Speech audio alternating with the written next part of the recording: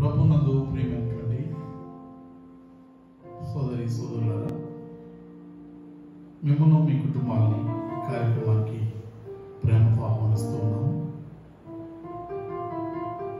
దయచేసి మీరందరూ కూడా దేవుని యొక్క సందేశం వినడానికి సిద్ధపడి మీరందరూ కూర్చొని శ్రద్ధగా ఏకాగ్రత కలిగి దేవుని యొక్క సందేశాన్ని విని మీరు మీ కుటుంబాలు దైవాశీర్వాదాలు పొందాలని ప్రేమతో ఆహ్వానిస్తున్నాం. ప్రార్థన చేస్తున్నాం మమ్మల్ని మిక్కిలిగా ప్రేమించిన మా ప్రియ పరలోపు తండ్రి మీ ఘనమైన పరిశుద్ధ నామానికి వందనాలు స్తోత్రాలు చేస్తున్నాం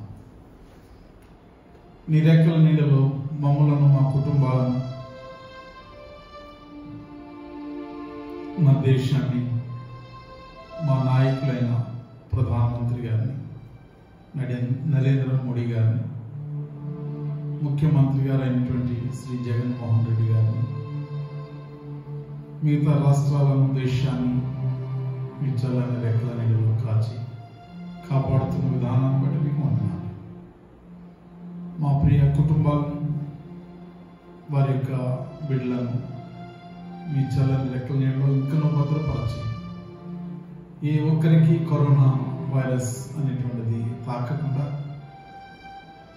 ఎవరికి ఎలాంటి రోగము రాకుండా క్షేమముగాను భద్రముగాను ప్రజలను కాచి కాపాడి ప్రతి కుటుంబాన్ని రక్షించమని కాపాడమని మీ దయతో వీళ్ళందరూ దీవించమని.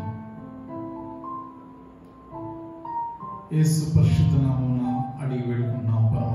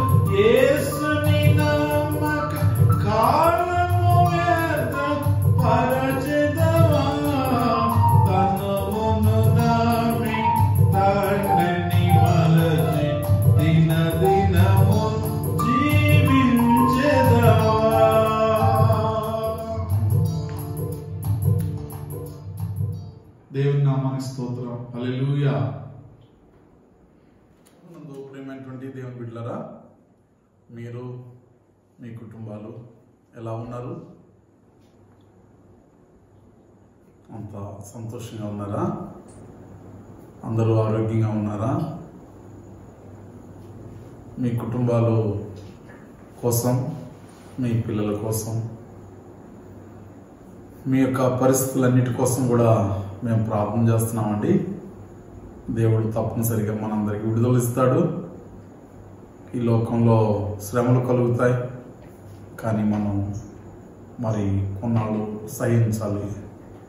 యేసుక్రీస్తు వారు మన కొరకు ఆయన ఎంతో శ్రమపడి మనందరికీ తన ప్రాణాన్ని పెట్టి మనం రక్షించుకున్నారు. అలాగే ఆ కార్యాన్ని ఇంకనూ ఆయన కొనసాగిస్తారు. మనం నమ్మినవాడు గొప్ప దేవుడు. మనలో ఉన్నవాడు చాలా గొప్పవాడు. కాబట్టి ప్రతి వారు కూడా మీరు అవిశ్వాసం పడక ప్రతి వారు ధైర్యం కలిగి మరి నిరీక్షణతో దేవుని యందు విశ్వాసంతో జీవించాలని మాటలు మీకు నేను తెలియజేస్తున్నాను ఈరోజు మనం వినేటువంటి వర్తమానము దయచేసి దేవుని యొక్క లేఖన భాగంలో నుండి మనం విందాము. మత్తి స్వార్త పదహారు అధ్యాయము ఇరవై నాలుగు నుంచి ఇరవై ఏడు వచనాల దాకా కొన్ని మాటలు మనం చదువుకుందాం. అప్పుడు యేసు తన శిష్యులను చూచి ఎవడైనను నన్ను వెంబడింపగోరిన ఎడల తను తాను ఉపేక్షించుకొని తన శిలువను ఎత్తుకొని నన్ను వెంబడింపవలను. తన ప్రాణమును రక్షించుకొనగోరువాడు దాన్ని పోగొట్టుకునను. నా నిమిత్తము తన ప్రాణమును పోగొట్టుకున్నవాడు దాన్ని దక్కించుకొనను. ఒక మనుషుడు లోకమంతయు సంపాదించుకొని తన ప్రాణమును పోగొట్టుకుంటే అతనికి ప్రయోజనం ఒక మనుషుడు తన ప్రాణములకు ప్రతిగా నేమి ఇయ్యగలడు. మనుష్య కుమారుడు తన తండ్రి మహిమ గలవాడై తన దూతలతో కూడా రాబోచున్నాడు అప్పుడు ఆయన ఎవని క్రియలు చొప్పున వారికి ఫలమిచ్చును. ప్రభునందు ప్రియమైనటువంటి వాళ్ళరా ఈ మాటలు యేసుక్రీస్తు వారు ఎవరి కోసం చెప్పారు అంటే ఈ లోకంలో తను వెంబడించే వారి గురించి చెప్పడం జరిగింది. ఈ లోకంలో ఎంతమంది వెంబడిస్తున్నారో ఆ వెంబడించే ప్రతి వారు కూడా ఏ విధంగా ఉన్నారు? ఏ విధంగా ఆయన్ను అనుసరిస్తున్నారు? అనే విషయాల్ని ఒకసారి పరిశీలనగా ప్రతి వారు కూడా గమనిస్తుండాలి తెలుసుకుంటుండాలి. నీవు ప్రభు నమ్ముకున్నావు అంటే ఎలా నమ్ముకున్నావు? ఏ రకంగా నమ్ముకున్నావు? నమ్మిన నీవు ఆయన ఎలా వెంబడిస్తున్నావు? ఏ విధంగా వెంబడిస్తున్నావు? నీ జీవితాన్ని ఏ విధంగా దేవునితో సహవాసం చేస్తున్నావు? దేవుని యొక్క సన్నిధిలో ఏ విధంగా సహవాసం చేస్తున్నాం? దేవుని యొక్క పరిశుద్ధతలో ఎలా జీవిస్తూ ఉన్నాం? ప్రభు చెప్తూ ఉన్నారు. ఎవడైనను నన్ను వెంబడింపగోరిన తన్ను తాను ఉపేక్షించుకొని తన సిలువనెత్తుకొని నన్ను వెంబడింపలేను అంటున్నాడు. మొదట నీవు ఆయన వెంబడించేటువంటి నీవు నీ జీవితంలో చేయవలసిన పని ఏమిటి అంటే నీ స్థితిని నువ్వు ఎరిగి ఉండాలి. నీవు ఈ లోకంలో ప్రతి ఒక్కరం కూడా మనం మట్టి దేహముతో ఉన్నటువంటి వారము. మనమంతా భూమి మీద మనుషులుగా జన్మించాం. జన్మించిన మనమందరం కూడా శరీరానుసారులం. ఈ శరీరానుసారులైనటువంటి మనల్ని దేవుడు అంటున్నాడు ఆత్మానుసారులుగా చేస్తాను అంటున్నాడు. ఆయన రాజ్యం నాకు వారసులుగా చేస్తాను అంటున్నాడు. ఆయన పరలోక రాజ్య వారసులుగా అవ్వాలి అంటే మనం చేయాల్సిన పని ఏమిటి? ఆయన వెంబడించాలి. యేసు క్రీస్తు వారు ఈ లోకంలో ఆయన జీవించినప్పుడు ఆయన వేలాది మందితో వందలాది మందితో లక్షలాది మందితో ఆయన అనేక మందితో జీవిస్తూ ఉన్నప్పుడు ఆయన అనేక ఆశ్చర్య కార్యాలు ఆయన అద్భుత కార్యాలు సూచక్రియలు జరిగించారు. రోగులను బాగు చేశారు. పాపులను మార్చారు. ఎందరికో ముక్తినిచ్చారు. అలాంటి ప్రభువారు ఆయన్ని వెంబడించిన వారు ఆయన అవసరాలు తీర్చుకోవడానికి వచ్చిన వారు కొంతమంది. ఆహారం తినడానికి కోసం వచ్చిన వారు కొంతమంది. మరి కొంతమంది వాక్యం కోసం వచ్చిన వారు కొంతమంది. ఇందులో చివరికి నిలబడిన వారు ఒక పన్నెండు మంది కనిపిస్తున్నారు. ఆ పన్నెండు మంది శిష్యులు కూడా ఈ లోకంలో వారు అన్నిటిని విడిచిపెట్టి యేసునే వెంబడించారు. అయితే ప్రియమైనటువంటి వాళ్ళరా వారు యేసు ప్రభువుని ఎలా వెంబడించారో మీకు వివరంగా తెలియజేస్తున్నాను. వారికి శరీర ఆశలు లేవు. వారికి లోక ఆశలు లేవు. వారికి లోకంలో ఎలాంటి మరి బంధుత్వాల మీద కూడా ప్రేమ లేదు వారికి. వారికి వారు జీవించిన కాలం అంతా కూడా ప్రభుతో జీవించడం ఆత్మల కొరకు బ్రతకడమే వారి పని. అంతేకాకుండా వారి జీవితంలో వారు చేసిన పని ఏంటంటే వారిని ఉపేక్షించుకొని ఎవరికి వారే యేసును వెంబడించిన వారు. ఇక స్వార్థం కానీ ఎలాంటి ఆశలు కానీ ఈ లోకంలో లేకుండా వారు బ్రతికినంత కాలం కూడా వారు ప్రభువును వెంబడిస్తూ వారి జీవితాన్ని మరి తగ్గించుకుంటూ ఉపేక్షించుకోవడం అంటే వారిని వారు వారిలో ఉన్నటువంటి అహం నేను అనేటువంటి స్వభావం లేకుండా వారి జీవితకాలం కూడా బ్రతికినంత కాలం ప్రభువుకి సాక్షులుగా ప్రభు సంఘం యొక్క అభివృద్ధి చేసేటువంటి మరి పాత్రదారులుగా వారు పన్నెండు మంది కూడా ఎంతో కష్టపడినట్లు మరి శిష్యుల యొక్క జీవిత చరిత్రను మనం చూస్తూ ఉంటాం. యేసుక్రీస్తు వారు ఈ లోకంలో చాలా అద్భుతంగా ఆయన మరి శిష్యులను తయారు చేసుకుని ఆయన శిష్యులను ఆయన వెంబడించమన్నాడు. ఆయన్ని ఎలా వెంబడించమన్నాడు? అదేవిధంగా వారు జీవితకాలము యేసుప్రవారు ముగించిన పరిచర్య విడిచిపెట్టిన పరిచర్యను ఆ పన్నెండు మంది శిష్యులు కూడా ప్రభువుని వెంబడిస్తూ వారు ప్రభువుని జీవితకాలం కూడా ఆయన కూడా ఉండి ఆయన శ్రమలలో ఆయన శోధనలలో ఆయన యొక్క కష్టములో కూడా వారందరూ ఆయనతో ఉండి వారు చివరికి ప్రభువు ముగించిన విడిచిపెట్టినటువంటి సువార్త పరిచర్యను వారు ప్రపంచమంతటా చెదరిపోయి ప్రభు యొక్క మరి అడుగుజాడల్లో ప్రభు సత్య మార్గంలో వారు జీవిస్తూ వారు ఎంతగానో వారు ప్రభు కొరకు నిలబడ్డారు. దేవునికి స్తోత్ర. అయితే వారు ఆ విధంగా ప్రభును వెంబడించి వారు తమను తాము తగ్గించుకొని ఉపేక్షించుకొని తమను తాము ఏసును వెంబడించరి. దేవునికి స్తోత్ర.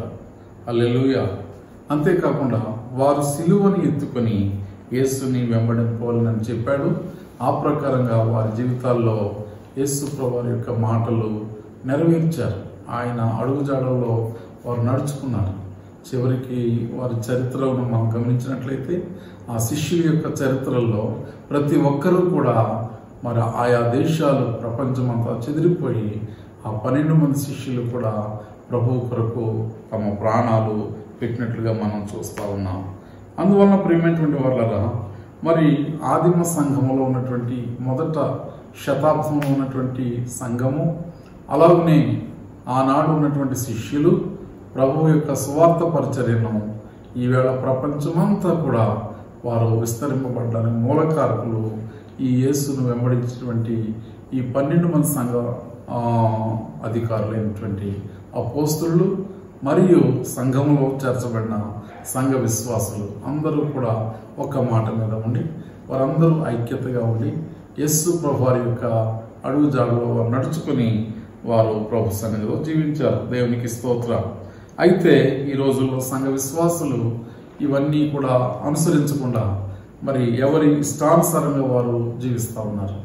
మనం జీవితంలో ప్రతి ఒక్కరూ కూడా రక్షించబడ్డామంటే మన ఇష్టానుసారంగా కాదు మన కోసం కాదు కానీ దేవుని మాట ప్రకారంగా మనం జీవించాలని దేవుడు తెలియచేస్తా ఉన్నాడు. అయితే ఈ ఆజ్ఞ ఎవరిది అంటే యేసు ప్రభువారి ఆజ్ఞాపించాడు. ఏమని? ఎవడైనను నన్ను వెంబడింపకూడనిలా తన్ను తాను ఉపేక్షించుకోనాలి తన సిలువను ఎత్తుకోవాలి నన్ను వెంబడించాలి అని ప్రభు చెప్తా ఉన్నాడు. ప్రియమైనటువంటి వాళ్ళగా మరి ఆయన వెంబడించాలని ఆశపడినటువంటి నీవు నీవు ఎలా వెంబడిస్తున్నావు?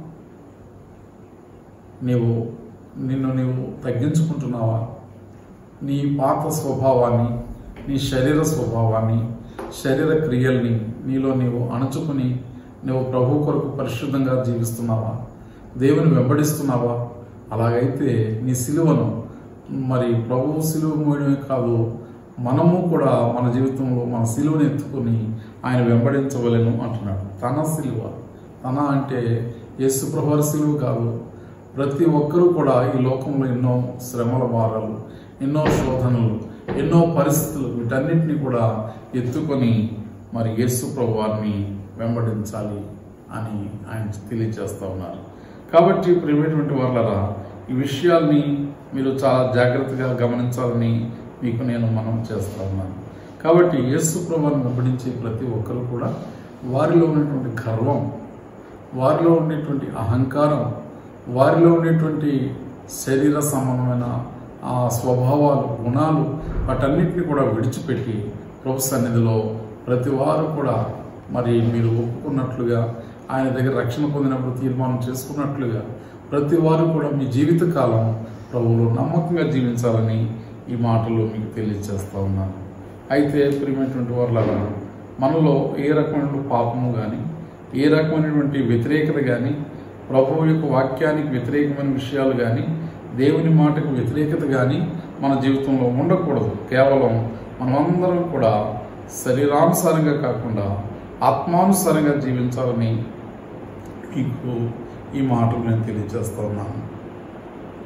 కాబట్టి ఈ విషయంలో ప్రతి వారు కూడా మరి మన జీవితంలో ఎస్ ప్రభావం నమ్ముకోవడం యొక్క ఉద్దేశము ఈ విధమైనటువంటి తగ్గించుకోవడం సిలువను ఎత్తుకుని సిలువను మోయడం వీటి యొక్క వెనకాల చరిత్ర ఏమిటి అంటే రాబోయే కాలంలో మనం పొందే గొప్ప చరిత్ర గొప్ప అనుభవం ఏమిటంటే రక్షణ భాగ్యం ఈ లోకంలో రక్షణ పొందుకున్న ప్రతి ఒక్కరూ కూడా ప్రభు రాజ్యాన్ని సంపాదించుకోగలుగుతారు. ఈవేళ మనం భారతదేశంలో ఉన్న. భారత పౌరులు. వేరే మరి దేశము అనగా పరలోకం. పరలోకము అనేటువంటిది అదొక దేవుని యొక్క దేశం. భూలోకం అనేది మానవుల దేశం. ఈ మానవులు ఉండే దేశానికి ఒక సిటిజన్షిప్ ఉంటుంది. ఉదాహరణకు మనం భారతీయులము. భారతీయులైనటువంటి మనం అందరం కూడా భారతదేశం ఉన్నటువంటి హక్కులకు భారతదేశంలో గవర్నమెంట్ ఇచ్చేటువంటి సదుపాయాలకు అన్నింటినీ అనుభవించడానికి మనం హక్కుదారు అలాగే వేరే దేశాల నుంచి ఈ దేశానికి వచ్చేటువంటి వ్యక్తి కూడా మరి అవన్నీ అనుభవించాలి అంటే ఆ వ్యక్తి మన దేశంలో మరి అధికారుల యొక్క పర్మిషన్ పొందాలి. వీసా పొందాలి. ఆ తర్వాత పాస్పోర్ట్ కలిగి ఉండాలి. ఆ వ్యక్తి మన యొక్క రూల్స్ అండ్ రెగ్యులేషన్ ప్రకారంగా ఇక్కడ ఉండడానికి ఇతడు నడవడానికి అతడు తీర్మానం చేసుకోవాలి. అంతేగాని అతని ఇష్టానుసారంగా ఉండడానికి ఇష్టం మరి ప్రభుత్వం అంగీకరించదు. అలాగే మనం భూమి మీద ఉన్నంత కాలం కూడా భూ సంబంధంగా ఉంటున్నాం. ఇప్పుడు యేసు ప్రభువారిని నమ్ముకోవడం వల్ల వచ్చేటువంటి లాభాలు ఏంటంటే ఆయన్ని వెంబడించడం వలన కలిగే లాభాలు ఏంటంటే ఆయనలో జీవిస్తూ ఆయన వెంబడిస్తూ సిలువని ఎత్తుకొని అలాగే మనల్ని మనం ఉపేక్షించుకొని యేసు ప్రభువారిని వెంబడించడం వల్ల కలిగే లాభాలు ఏంటంటే మనకు ప్రభు యొక్క రాజ్యంలో వారసత్వం కలుగుతుంది. ఆయన యొక్క రాజ్యంలో మన ఆత్మ రక్షించబడుతుంది. లేకపోతే మనం నిత్య అగ్నిగుండానికి వెళ్ళిపోతాం. ఈ లోకంలో యేసుక్రీస్తు వారు వచ్చిన ఉద్దేశం ఏంటి అంటే ఆయన మతాన్ని స్థాపించడానికి రాలేదు. ఆయన సంఘాన్ని స్థాపించడానికి రాలేదు. ఆయన సామ్రాజ్యాన్ని నెలకొల్పుకుని పేరు ప్రఖ్యాతులు తెచ్చుకుని ఈ లోకంలో భూములు ఆస్తులు సంపాదనలు సంపాదించి ఆయన ప్రపంచంలో సామ్రాజ్యాన్ని స్థాపించడానికి రాలేదు ఆయన. ఆయన వచ్చింది ఎవరి కోసం అంటే నశించిపోతున్న ఆత్మలను రక్షించడానికి ప్రభు వచ్చారు. ఆ వచ్చిన ప్రభు వారు ఈ లోకంలో ప్రతి వ్యక్తి యొక్క జీవితం కూడా మరి దేవునికి సంబంధం లేకుండా మధ్యలో సాతాను దేవునికి మానవునికి మధ్య పాపం అనే అడుగు అడ్డుగోడను తీసుకొచ్చింది. ఆ పాపమని అడ్డుకోవడము అడ్డుగోడను దేవుని మాటను వినకపోవడం వలన మానవులు ఈ యొక్క పాపం అనేటువంటి అడ్డుగోడ ద్వారా దేవుణ్ణి చూడలేకపోతున్నారు దేవుని యొక్క సహవాసం చేయలేకపోతున్నారు. ఈ రోజున ప్రతి ఒక్కరు కూడా దేవుడు అంటున్నారు కానీ ఆ దేవుడిని చేరలేకపోతూ ఉన్నారు. ఆ చేరలేని ప్రజల కోసం రెండు వేల ఇరవై సంవత్సరాల పూర్వం యస్సు క్రీస్తు వారు దేవాతి దేవుడై ఉండి పరలోకాన్ని విడిచిపెట్టి భూమి మీదకు ఒక చంటి బిడ్డ వలె ఆయన అవతార పురుషుడిగా ఈ లోకంలో జీవించి ఆయన జీవించిన కాలంలో ఆయన్ను అందరూ మానవుడు అనుకున్నారు. ఆయన పెరిగి పెద్దవాడైన తర్వాత ఆయన చేస్తున్న కార్యాలు ఆయన యొక్క పద్ధతులు ఆయన విధానాలు చూసినప్పుడు అందరికీ ఈయన దేవుని కుమారుడు అని అందరికీ అర్థమయ్యే రీతిలో కనిపిస్తూ ఉన్నాడు. ఆయన రోగులను బాగు చేస్తున్నాడు. చనిపోయిన వారిని లేవనెత్తుతున్నాడు. మరి ఎన్నో భయంకర వ్యాధులను బాగు చేస్తూ ఉన్నాడు. ఈ లోకంలో ప్రతి ఒక్కరికి కూడా ఎన్నో అద్భుతాలు ఆశ్చర్యకార్యాలు ఆయన చేస్తూ ఉంటే మరి ఆయన యొక్క కీర్తి ఆయన యొక్క మరి పేరు మరి వాడవాడల మండలాల జిల్లాలు అలాగే రాష్ట్రాలు దేశాలు ప్రపంచమంతా ఆయన కీర్తి అంతా కూడా ప్ర ప్రకటించబడింది. అందుకని ఈవేళ ఆ నీతిమంతుడైన ప్రభువారం గురించి ప్రపంచమంతా తెలుసుకొని మరి సత్యదేవుడు ఆయనే అని ఆయనే పాపులకు మరి విముక్తి ఇచ్చేవాడని ఆయన ప్రతి ఒక్కరిని కూడా రక్షించేవాడని తెలుసుకొని ఆయన వెంబడిస్తూ ఉన్నారు. కాబట్టి ప్రియమైనటువంటి వాళ్ళ మరి మీకు చెప్పాను కదా భూమి మీద ఉన్నటువంటి ఈ భూలోకం ఉన్న వాళ్ళకి ఒక వీసా పాస్పోర్ట్ అనేటువంటి ఎలాగైతే ఉండి వారందరూ కూడా విదేశానికి వెళ్ళి వస్తున్నారు. వాటి యొక్క హక్కులు కలిగి ఉంటున్నారు. అలాగనే ఈ భూమి మీద ఉన్న మానవుడు ప్రతి వ్యక్తి కూడా దేవుని రాజ్య సంబంధులుగా ఉండడానికి దేవుని యొక్క రాజ్యంలో వారసులుగా ఉండడానికి ఆయన నెలకొల్పేటువంటి ఆ యొక్క పరలోక భవనాలలో ఈ యొక్క మనుషుడు జీవించడానికి దేవుడు ఆయన ఈ లోకానికి రక్షించడానికి వచ్చాడు. కాబట్టి ఆయన్ను రక్షణ పొందుకొని ఆయన యొక్క రాజ్యంలో ఎవరైతే చేరాలనుకున్నారో అట్టి వారందరూ కూడా ఏం చేయాలటండి? యేసుకులు వారిని వెంబడించేటువంటి ప్రతి వ్యక్తులు కూడా ఆయన తను తన్ను తాను ఉపేక్షించుకొని సిలువనెత్తుకొని యేసుకులు వారిని వెంబడించాలి. అయితే ఈ లోకంలో మరి కండిషన్స్ ఏమిటి ఆ కండిషన్స్ మానవుడు పరిశుద్ధుడిగా జీవించాలి. ఏ విధమైన పాపము చేయకూడదు. ఎలాంటి బ్యాడ్ హ్యాబిట్స్ కూడా చెడు అలవాట్లు కూడా మానవునికి ఉండకూడదు. అతడు దేవుని వంటి మనసు కలిగి ఉండదు దేవునికి ఉన్న గుణలక్షణాలు కలిగి ఉండదు కాబట్టి ఆయన ఏమంటున్నాడు అంటే తన ప్రాణమును రక్షించుకొనగోరువాడు దాన్ని పోగొట్టుకును. ఏం పోగొట్టుకున్నాను తన ప్రాణమును రక్షించుకొనగోరువాడు ఇక్కడ సబ్జెక్ట్ ఏమిటి అంటే ప్రాణము అనేది చాలా విలువైనది. శరీరము కంటే మరి ఇది ప్రాణము చాలా విలువైనది. ప్రియమైనటువంటి వాళ్ళరా ఈ ప్రాణం ఈ విలువైనటువంటి ఈ ప్రాణంలో మరి ఒక రోజున మనిషి బ్రతుకున్నంత కాలమే ప్రాణం మనిషికి విలువ. అది దేనివల్ల ఆ విలువ? మనిషిలో ఉన్న ప్రాణాన్ని బట్టి మనిషికి ఆ శరీరానికి విలువ. అయితే మానవుడు శరీరానుసారంగా జీవిస్తున్నాడు తప్ప ఆత్మానుసారంగా దేవుని యొక్క మాట ప్రకారం జీవించడం లేదు అందుకని తన ప్రాణమును రక్షించుకునగోరువాడు దాన్ని పోగొట్టుకున్నాడు. దేనిని? రక్షణ పోగొట్టుకుంటాడు. అంటే అతని యొక్క జీవితంలో ఆ పరలోకాన్ని పోగొట్టుకుంటాడు. ఈ లోకం కావాలనుకున్నవాడు ఈ లోకంలో అనేక అలవాట్లు కలిగి ఉండాలనుకున్నవాడు ఎన్నో పాపాలు చేయాలనుకున్నవాడు ఏం పోగొట్టుకుంటాడట? రక్షణ పోగొట్టుకుంటాడు. తన ప్రాణాన్ని పోగొట్టుకుంటాడట. తన దేవుని రాజ్యాన్ని పోగొట్టుకుంటాడట. అయితే నీకు దేవుని రాజ్యం కావాలి నీ యొక్క ప్రాణములకు రక్షణ కావాలి అంటే ప్రతి వ్యక్తి కూడా ఏం చేయాలి? ఈ లోకంలో ఉన్న వాటిని ప్రేమించకూడదు. ప్రభు చెప్తున్నాడు ఎవడైనాను ఈ లోకమును ప్రేమించిన తండ్రి ప్రేమ వానిలో ఉండదు అంటున్నాడు. కనుక లోకంలో ఉన్నదంతా ఏంటి? శరీరాశ నేత్రాశ జీవపుడము ప్రేమైన వాళ్ళ ఈ లోకంలో శరీరాన్ని ప్రేమించి శరీర కార్యాలను ప్రేమించి చాలామంది దేవునికి దూరమైపోతున్నారు. శరీరం త్రాగే వారు త్రాగుతున్నారు. త్రాగి వారి జీవితంలో ఏమవుతున్నారంటే మరి ఆరోగ్యాన్ని కోల్పోతున్నారు. అలాగే చెడు అలవాట్లు కలిగి ఉన్నవారు ఆరోగ్యాన్ని పాడు చేసుకుంటున్నారు. ఇంకా వ్యసనాపరులు అనేక చెడు అలవాట్లు ఉన్నటువంటి వారు ఆ అలవాట్లను బట్టి వారి జీవితాల్ని పాటు చేసుకుంటున్నారు. మరి ఈ లోకంలో మంచిగా ఉన్నటువంటి వాళ్ళు చెడ్డ కార్యాలు చేయడం ద్వారా అనగా దొంగతనాలు ఇంకా చెడ్డ పనులు చేయడం ద్వారా మంచిగా ఉన్నటువంటి ఆ మంచి పేరు పోయి చెడ్డ పేరు సంపాదించుకుంటా ఉన్నారు. ప్రియమైనటువంటి వాళ్ళగా మరి ఒక ఊరిలో ఒక ఆసామి ఉన్నాడు. అతను దొంగవాడు. ఆ అబ్బాయి దొంగోడు. దొంగోడైతే అతను పెళ్ళి చేసుకోవాలనుకున్నాడు ఎలాంటి అమ్మాయిని పెళ్ళి చేసుకోవాలనుకున్నాడు? నాకంటే గజ దొంగ అయిన అమ్మాయి అయి ఉండాలి? నేను ఎలా దొంగతనం చేస్తున్నాను? అలాగే నాలాంటి నా భార్య కూడా అలాంటిదై ఉండాలి అని అనుకున్నాడు. సరే మొత్తానికి అతనికి నూట ఇరవై మూడు సంబంధాలు వచ్చాయి. ఈ నూట ఇరవై మూడు సంబంధాల్లో ఏ సంబంధం కూడా అతనికి నచ్చలేదు. మొత్తానికి అతను ఏమన్నాడంటే ఓ రోజున తల్లిదండ్రులు చెప్పి బాధపడుతున్నాడు మా అబ్బాయికి ఎన్నో సంబంధాలు వస్తున్నాయి కానీ ఏ సంబంధం సెట్ అవ్వట్లేదు. మొత్తానికి ఆ అబ్బాయికి ఒక అమ్మాయి సెట్ అయింది. ఆ అమ్మాయి కూడా ఎలాంటిది అంటే బస్ బస్సులో ఎదురైందంట. ఎలా ఎదురైందంట? మరి టికెట్ కండక్టర్ వచ్చి టికెట్లు అడుగుతున్నాడంట. ఏమని అడుగుతున్నాడు? టికెట్ టికెట్ అంటే ఆ, జేబులు వెతుకుతున్నాడు.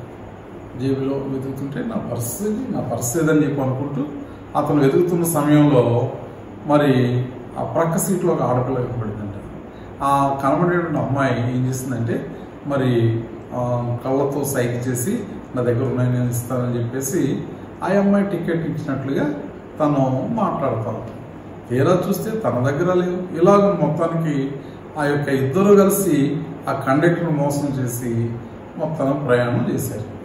ఈ లోపల ఏం జరిగింది అంటే మరి వాళ్ళు ఒకరినొకరు మాట్లాడుకున్నాక నేనే దొంగోడు అంటే నాకంటే దొంగదారి దొరికావు అనుకుని అప్పుడు తల్లిదండ్రులు ఇష్టపడ ఇష్టపడిన సంబంధాలు చేసుకోకుండా వీడు ఆ దారిలో దొరికిన అమ్మాయిని పెళ్ళి చేసుకున్నాడు. ఒక రోజున ఏం జరిగిందో తెలుసా? వాళ్ళిద్దరు పెళ్ళి చేసుకున్నారు. వాళ్ళకి ఒక పిల్లవాడు పుట్టాడు. ఆ పిల్లవాడు పుట్టిన తర్వాత మరి హాస్పిటల్లో నర్సు గారు ఏం చేసిందంటే మరి బిడ్డకి డెలివరీ కార్యక్రమాన్ని హాస్పిటల్లో జరిగిస్తూ ఉన్నారు. ఆ యవన నర్సు అనేటువంటి ఆమె వేలికి ఉంగరాన్ని పెట్టుకుని ఆమె ఆ రోజు డ్యూటీకి వెళ్ళింది. పురుడు పోసే సమయంలో మరి ఈ యొక్క తల్లి గర్భం వచ్చినటువంటి ఆ చంటి బిడ్డ ఏం చేశాడో తెలుసా అండి? మరి మొత్తానికి ఆ యొక్క బిడ్డ ఆ, ఆ తల్లి ఉంగరాన్ని వీడు చేత్తో పట్టుకున్నాడు. ఈ నర్సు స్నానం అన్నీ అయిపోయిన తర్వాత నేను బంగారు ఉంగరం పెట్టుకున్నాను కదా. నా ఉంగరం ఇది నా ఉంగరం ఏదని ఆమె ఆఫీసు ఆమె యొక్క రూము మొత్తం అన్నీ వెతుక్కుంటుంది కానీ ఎక్కడ చూసినా ఎక్కడ చూసినా ఆమె పర్స్ చూసినా ఆమె బ్యాగ్ చూసినా వెతికిన గదులన్నీ కూడా చూసినా ఆ వస్తువు పోలేదు. ఇదే ఎక్కడుంది? నేను అసలు వేళ ఉంగరం పెట్టుకొచ్చానా లేదా? అసలు ఉంగరంతో నా రైలు పెట్టుకున్నానా లేదా అని తీరా చూసి ఏం చేసింది? ఒక్కసారి అన్ని వెతికి వెతికి వెతికి చివరిగా డెలివరీ పోసినటువంటి యొక్క స్థలానికి వచ్చింది. అప్పుడు ఏమైంది తెలుసా అండి? ఆ చంటి బిడ్డ మరి రేళ్ళు ఆ, హస్తాన్ని కొద్దిగా వదిలి వదలనట్టుగా ఉండాలి. అలాంటిది పిడికిలు గట్టిగా బిగించున్నాయి. అర్థమైందా మీకు? ఆ బిగించిన పిడికిల్లో ఏదో పట్టుకుని ఉన్నట్టుగా ఉన్నాడు ఆ పుట్టిన పిల్లవాడు. అలా వండినప్పుడు ఏమైందంటే ఈ నర్సుకి డౌట్ వచ్చి పుట్టిన పిల్లలు కొన్నిసార్లు ఇలా ఉంటారు? అయినా సరే ఒకసారి చూద్దామని చెప్పి ఎలా చూస్తే ఆ పిల్లవాడు ఆ చేతిలో ఉంది ఆ నర్సు యొక్క ఉంగరం. ఆ ఉంగరాన్ని చూసి నర్సు ఆశ్చర్యపోయింది.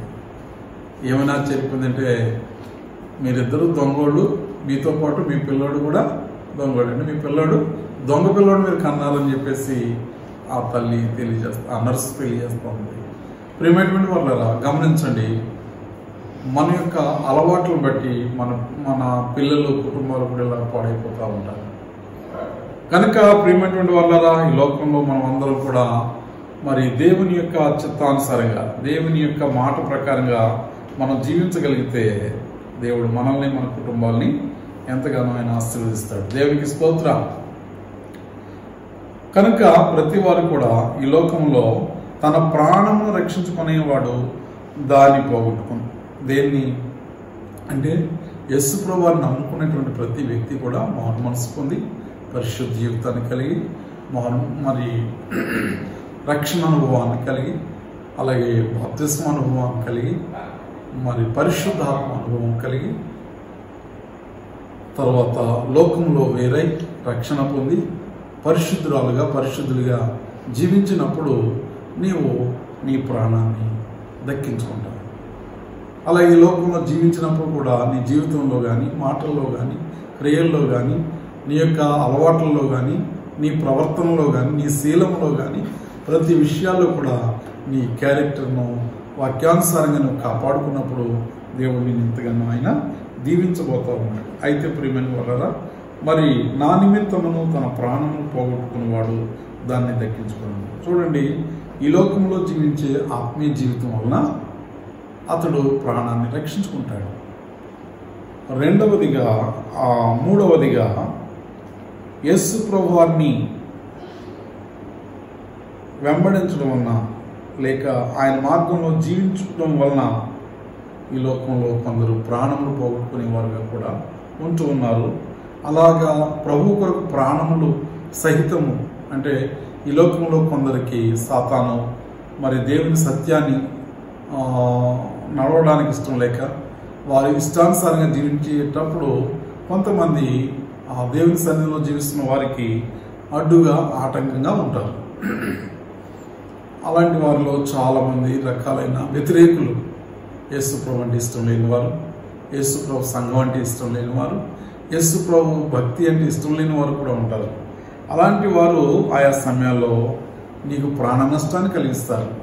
నీకు విమర్శలు చేస్తూ ఉంటారు. నిన్ను ఎన్నో రకాలుగా ఆటంకపరుస్తూ ఉంటారు. నిన్ను సమాజంలో విలువలేని వ్యక్తిగా చూస్తూ ఉంటారు. అలాంటి సమయంలో కూడా నీవు ప్రభువుని నమ్ముకొని ఆయన కొరకు నీవు నమ్మకంగా జీవించినట్లయితే చివరికి నీకు ప్రాణం మీద కూడా నష్టం వచ్చినప్పుడు ఆ ప్రాణాన్ని లక్ష్య పెట్టకుండా నువ్వు ప్రభు కొరకు నీవు జీవించినట్లయితే నీ ప్రాణాన్ని పరలోక రాజ్యంలో నీవు జీవించడానికి నీవు నిత్యము కూడా కొనసాగడానికి ప్రభు సహాయం చేస్తాడు. అందుకని యస్సు ప్రభు ఈ లోకంలో చూడండి ఆయన జీవించిన మరి ముప్పై మూడున్నర సంవత్సరాలు కూడా ఆయన ఏ రోజున కూడా సుఖపడినట్లేదు. ఆయన తల్లి గర్భంలో జన్మించింది మొదలు తల్లికి శ్రమ భూమి మీద పిండముగా పడిన ఆ చిన్న బిడ్డగా మరి జీవించిన జన్మించిన ఆ కుమారుణ్ణి కూడా ఎందరో ఎన్నో రకాల విమర్శలు చివరికి ఆయన చనిపోయే రోజు వరకు కూడా ఆయన విమర్శ చేస్తూ ఉన్నారు. ఆయన జీవితం ఎంతో విశేషమైనది. ఆయన జన్మ ఎంతో విశేషమైనది. ఆయన సిలువ ఎంతో విశేషమైనది. ఆయన మరి సిలువలో వేలాడి మరి ఎందరో మనుషులను సాధించాలి పగా కానీ ఆయన అందరినీ క్షమిస్తున్నాడు. ప్రియమైనటువంటి వాళ్ళరా ఆయన అంటున్నాడు మీ తండ్రి మీరేమి చేయుచున్నారో మీరు ఎరుగరని ప్రతి వారిని గురించి కూడా ఆయన క్షమాపణ మాటలు పలుకుతా ఉన్నాడు. ఈ విధంగా ఏడు మాటలు పలికినప్పుడు మరి ప్రపంచమంతా కూడా ఆశ్చర్యపోయింది. ఆయన సిలువ వేయబడినప్పుడు మరి దేవాలయపు తెర మరి రెండుగా చినిగిపోయింది ఆయన చనిపోయినప్పుడు సమాధులు తెరవబడ్డాయి. ఆయన చనిపోయినప్పుడు భూమి భూలోకం అంతా వణికిపోయింది. ఎంత విశేషం చూసారా? ఈవేళ కూడా ప్రపంచంలో ఎన్నో వింతలు విడ్డూరాలు జరుగుతున్నాయి. అలాంటి జీవం గల దేవుని ఇప్పటికీ జనాలు తెలుసుకోలేదు. అయితే మరి ప్రతి వారు కూడా తెలుసుకోవాలని మీ అందరికీ కూడా నేను ప్రేమతో తెలియజేస్తా ఉన్నాను కావున ప్రేమైనటువంటి దేవుని బిడ్డరా తన ప్రాణంను రక్షించుకున్న గోరువాడు దాన్ని పోగొట్టుకున్నాను అంటే నీవు నీ ప్రాణాన్ని నిజంగా రక్షించుకోగలిగితే ఈ లోకంలో అనేకమైన వాటిని పోగొట్టుకుంటావు అనేకమైన వాటిని నష్టపోతావు. అయినా నీకు నష్టమేమీ లేదు కానీ ప్రభు కొరకు నువ్వు నమ్మకంగా జీవించినట్లయితే నీ ప్రాణాన్ని ప్రభు కొరకు మరి పెట్టినట్లయితే నువ్వు ప్రభు రాజ్యంలో నీ ప్రాణాన్ని దక్కించుకున్నవాడు అవుతావు ఒకవేళ నీవు అలాగా చేసుకోనున్నట్లయితే ఈ లోకంలో చూడండి చాలామంది ఏం చేస్తూ ఉన్నారు? ఒక మనుషుడు లోకమంతా సంపాదించుకొని తన ప్రాణంను పోగొట్టుకుంటే వానికి ఏమి ప్రయోజనం అంటూ ఉన్నాడు. చాలామంది ఈవేళ ప్రపంచంలో మరి ఎందరో ప్రజలు ఎన్నో రకాలైనటువంటి మనుషులు ఇండ్లు సంపాదిస్తున్నారు ఆస్తులు సంపాదిస్తున్నారు డబ్బు సంపాదిస్తున్నారు బంగారం సంపాదిస్తున్నారు. చివరికి ఏదో ఒక క్షణాన చనిపోతున్నారు. ఈ విధంగా చనిపోయి వారు వట్టి చేతులతో వెళ్ళిపోతూ ఉన్నారు. వారు ఏం మోసుకొని వెళ్ళటం లేదు. గమనిస్తున్నారా? ఈ లోకం ఎవరికీ శాశ్వతం కాదు. మనకి శాశ్వతమైంది దేవుని రాజ్యం. యేసు ప్రభు ఎందుకు వచ్చారు అంటే ఆయన రాజ్యంలో నశించిపోతున్న మానవులు ఒక రోజున అందరూ చనిపోతారు. పేదవాడు మొదలుకొని ఉన్నతమైన వ్యక్తి వరకు కూడా ప్రతి వ్యక్తి చనిపోతాడు. ఆ చనిపోయిన ప్రతి వ్యక్తి కూడా మరి ఎక్కడికి వెళ్తాడు అంటే మరి ప్రభు చెప్తున్నాడు అందరూ నశించిపోయి వారు నిత్య నరకానికి వెళ్తారు అంటున్నాడు ఆయన. నమ్మి బాప్తిస్వం పొందినవాడు రక్షింపబడను నమ్మని వానికి శిక్ష విధించబడును అంటున్నాడు. కావున ప్రియమైనటువంటి వాళ్ళారా మీరందరూ గమనించండి. మరి ఈరోజు నీవు ఇంకా యేసు ప్రభాన్ని ఎరగకుండా ఉంటే ఇంకా ఆయన గురించి తెలుసుకోకుండా ఉన్నట్లయితే నీ విలోకం శాశ్వతం కాదు. ఈ భూమి శాశ్వతం కాదు. కుటుంబం శాశ్వతం కాదు. తల్లిదండ్రులు శాశ్వతం కాదు. ఈ లోకంలో ఎవ్వరూ కూడా మనకు శాశ్వతం కాదు. ఏది శాశ్వతం కాదు. నీకు శాశ్వతమైన వాడు ఒక్కడే దేవుడు మాత్రమే. ఈ లోకంలో తల్లి విడిచిన తండ్రి విడిచిన అన్నదమ్ములు విడిచిన అక్క చెల్లెలు విడిచిపెట్టిన బంధువులు విడిచిపెట్టిన భార్య విడిచిపెట్టిన పిల్లలు విడిచిపెట్టిన నిన్ను సృష్టించిన నీ సృష్టికర్త మాత్రం నిన్ను విడిచిపెట్టడు. అందుకని ఈ లోకంలో ప్రభు చెప్తూ ఉన్నాడు ఒకడు లోకమంతయు సర్వలోకమంతయు సంపాదించుకొని తన ప్రాణమును పోగొట్టుకుంటా వానికి ఏమి లాభము అంటున్నాడు కాబట్టి నీవెవరమైనప్పటికీ కూడా నీవే స్థితిలో ఉన్నప్పుడు కూడా నీ జీవితంలో ఒక మంచి నిర్ణయం చేసుకో. ఏమిటి ఆ నిర్ణయం అంటే బ్రతుకున్నంత కాలం బ్రతుకుతాను. బ్రతికి నేను ఆ ప్రభుని ఆరాధించుకుంటాను. కుటుంబంతోనూ నా నాకున్న బంధువులతోనూ సంతోషంగా జీవిస్తాను. నేను బ్రతికినంత కాలం దేవుడు నాకు ఇచ్చిన ఉద్యోగం అయితే ఉద్యోగం వ్యాపారం అయితే వ్యాపారము వ్యవసాయం అయితే వ్యవసాయము దేవుడిచ్చిన నా పనులన్నీ నేను చేసుకుని ఆ తర్వాత చక్కగా నేను నమ్మకంగా అన్ని విషయాల్లో నేను దేవుల్లో జీవిస్తాను. ఎవరి బాధ్యతలు వారు నిర్వహించుకుంటూ జీవించినంతకాలం కూడా ప్రభువులో నువ్వు సంతోషంగా జీవించాలని ఈ యొక్క పాఠాన్ని దేవుడు నీతో మాట్లాడుతూ ఉన్నాడు. కావున ఈ శుభ సందేశాన్ని వింటున్న సోదరి సోదరుడా నీవు ఏ కులానికి చెందిన ఏ మతానికి చెందిన ఏ జాతికి చెందిన నీవు చదువుకున్నా చదువుకోలేకపోయినా నీకు జ్ఞానమున్నా జ్ఞానం లేకపోయినా నీవు అందగాడివైనా అందం లేకపోయినా నీవు ఏ స్థితిలో ఉన్నా నీవు దేవుని యొక్క దృష్టిలో చాలా గొప్ప వ్యక్తి అయి ఉన్నావు. ఆయన మనందరినీ కూడా ఎంతగానో ప్రేమిస్తున్నాడు. ఆయన దేవుడు లోకమును ఎంతో ప్రేమించుచున్నాను అని ఆయన తెలియచేస్తా ఉన్నాడు. కాబట్టి అంతగా ప్రేమిస్తున్నాడు అంటే దానికి రుజువు ఏంటో తెలుసా? నీ వ్రేలి ముద్రే దానికి రుజువు. నీకున్నటువంటి వ్రేలి ముద్ర ఈ ప్రపంచంలో ఎక్కడికి వెళ్ళినా మరొకరికి ఉండదు. అలాగే నీ కళ్ళల్లో ఉండేటువంటి ఆ యొక్క ఆ స్పాట్స్ కూడా మరి వేరే ఒకరికి ఉండవు. అవి నీకు మాత్రమే ఉంటాయి.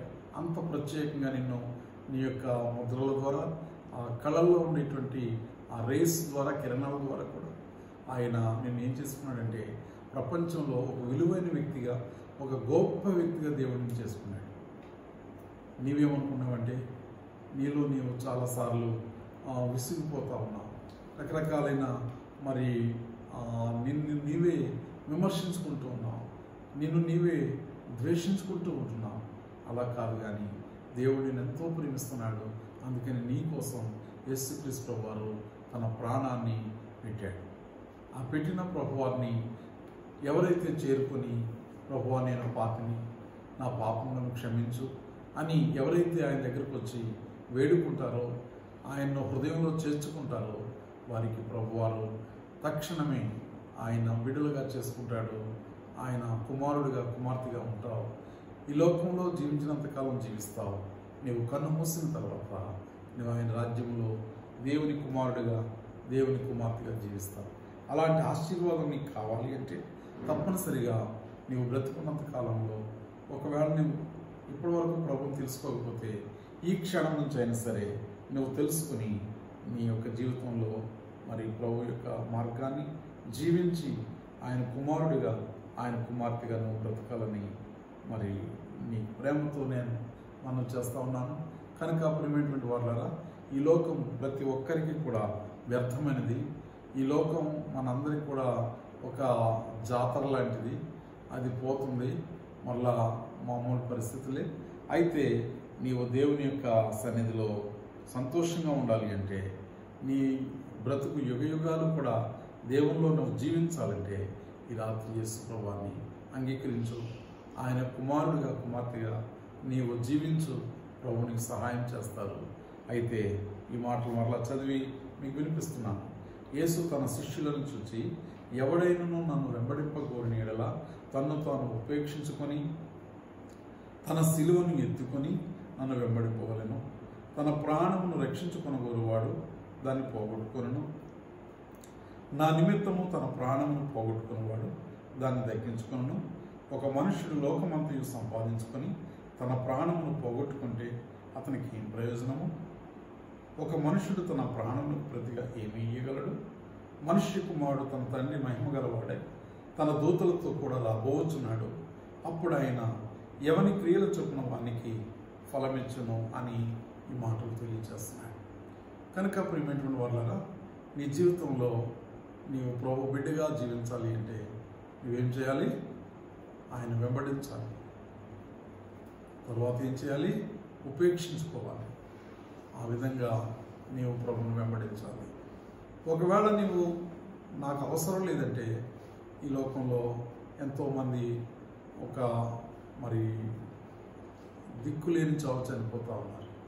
ఆ చనిపోయేటువంటి వారి లాంటి జీవితాన్ని మనం జీవించుకోకుండా మనం విలువైనటువంటి వారంగా మనం ఈ లోకంలో బ్రతికినంత కాలం కూడా మంచిగా బ్రతుకుతూ ఒకవేళ చనిపోయిన తర్వాత మనం దేవుని రాజ్యం చేరాలంటే ప్రతి వ్యక్తి కూడా యేసు ప్రభావాన్ని వెంబడించాలని ఆయన తెలియచేస్తా ఉన్నాడు. అంతేకాకుండా మరి ఆయా సమయాల్లో ఆయా మనుషులు విమర్శలు ఆయా మనుషులు ఆ శ్రమలు శోధనలు మరి నిన్ను ప్రభు నమ్ముకున్నందుగా నేను ఎంతో బాధ పెట్టినా కూడా నీ వాటిని లక్ష్య పెట్టకూడదు. ఒకవేళ లక్ష్య పెడితే నువ్వు లోకంలో కలిసిపోతావు. లేదు నువ్వు ప్రభుని వెంబడిస్తే నీ ప్రాణాన్ని దక్కించుకుంటావు. కాబట్టి ఒకవేళ నా ప్రాణం వద్దు అనుకుని నాకు రక్షణ వద్దు అనుకుంటే లోకాన్ని పొందుకుంటావు కానీ లోకం మాత్రం శాశ్వతం కాదు. అందుకని ప్రభు చెప్పాడు ఏమని? ఒకడు సర్వలోకము సంపాదించుకుంది. తన ప్రాణమును పోగొట్టుకుంటే మనకి ఏం ప్రయోజనం? అంటున్నాడు. కాబట్టి ప్రియమైన వాళ్ళరా మన ప్రాణము చాలా విలువైంది. ఈ విలువైన ప్రాణాన్ని దేవుడు మనకి ఇచ్చాడు కాబట్టి భూలోకంలో ఉన్నటువంటి మనము ఒక రోజు కన్ను మూస్తాము. అయితే ఆ తర్వాత ఈ ప్రాణం ఎక్కడికి వెళుతుందంటే దేవుని రాజ్యం దగ్గరికి వెళుతుంది. దేవుని రాజ్యంలోకి వెళ్ళిన తర్వాత నీవు ఆయనతో యుగ యుగాలు సదక సదాకాలం దేవునితో జీవిస్తావు. ఆయనతో నువ్వు జీవించాలి అంటే ఈరోజే యేసుప్రభాన్ని తప్పనిసరిగా అంగీకరించాలి. ఏమండి? యేసుప్రభాన్ని ఎందుకు అంగీకరించాలి అని అంటే ఆయన అంటున్నాడు